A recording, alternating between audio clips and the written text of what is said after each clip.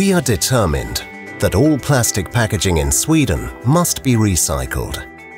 We are here in Motala, at Europe's largest and most efficient recycling plant for sorting plastic packaging of the company Svensk Plaståtervinning. It has the capacity to sort all types of plastic packaging used by Swedish households. FTIAB ensures that the plastic is collected from the recycling stations, and through household collection, all the quantities have to be recorded. Before the plastic arrives at the recycling plant, it is compressed into bales at an intermediate plant.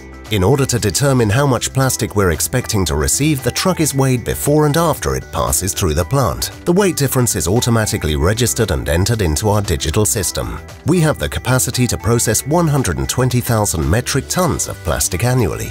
At full capacity, we unload one truck every hour and process about 330 kilograms of plastic every minute, 24 hours a day.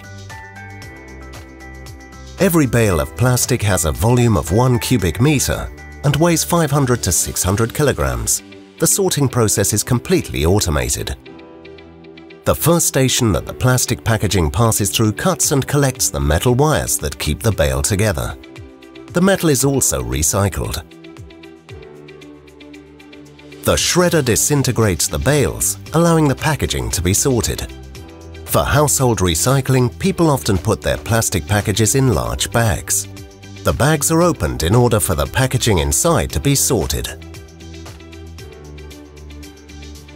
Sometimes there is metal mixed in with the plastic packaging, and this machine separates also the metal using strong magnets. Every week about 30 metric tons of recovered metal is sent to metal recycling plants. In the next step, the plastic packaging is sorted in a giant drum called a screening drum. Depending on the size of the plastic, it will be ejected through one of the differently sized holes in the rotating trommel, effectively sorting it by size. Once the packaging has been sorted by size, it is further separated into hard plastic and soft plastic in a two-step procedure. In the first step, ballistic separators are used where the heaviest material ends up at the bottom, while lighter materials move upwards. Thereafter, the plastic is further separated using a wind shifter, where soft plastic is sucked up and the hard plastic remains.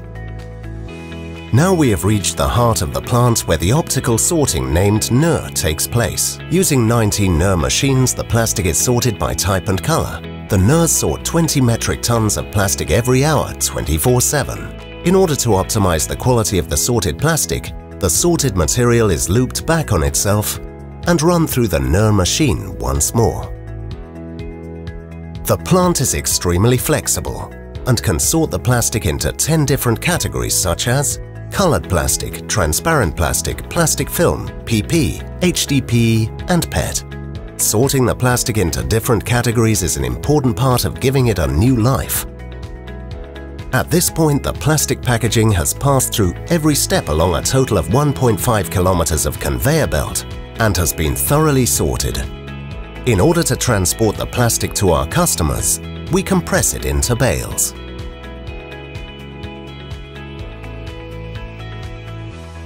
Once it has reached our customers, who are the next step in the recycling chain, the plastic is washed and granulated in order to be recycled and used as the raw material for new plastic products and plastic packaging. The plastic that leaves our plant is of very high quality. The plant is up to twice as efficient at identifying and sorting plastic correctly compared to other plants in the industry. This means more recycled plastic packaging and less plastic lost to incineration. The people of Sweden recycle dutifully compared to many other countries, but we can still do better. Far too much plastic ends up being incinerated. On one hand, this is due to households not sorting all plastic packaging, but also due to the design of the plastic packaging. We love transparent plastic. The darker the plastic, the greater the difficulty of sorting it due to the near readers not being able to detect it. The same applies if the labels are too large and made of a different material. We help and support manufacturers to design their plastic packaging to be recycling friendly. You can read more about plastic packaging and design in our Guide to Plastic Packaging. We give plastic a new lease of life over and over again.